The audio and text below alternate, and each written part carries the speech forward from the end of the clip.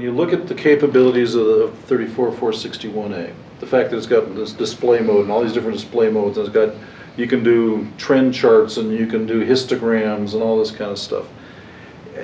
You've obviously got a lot more computing power in it, um, and yet somehow it, it, to the customer, it, it actually it has a lower price than the 401A.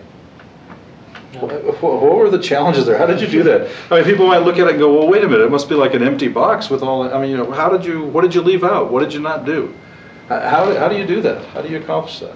Like I said, we, we were lucky enough to leverage the uh, development of the digital technology that's happened over the last 25 years. Okay. Uh, So fortunately, we've been able to use a lot of that additional computing power to do some really cool things that we couldn't do on the 34401 because you just couldn't do it in the box. Uh, Most of that processing power was used to do the measurements and Okay, so did that help you in your, I know you did the front end, so the A to, A to D, was there a, is there a lot more computing power going on there in the front There's end? definitely, we've got an FPGA that's built in that's doing a lot of the work. I mean, we've got lots more digital computing power going into that, and that's, that's part of what allows us to, to do some of the things that we've done with digital AC and, and Okay.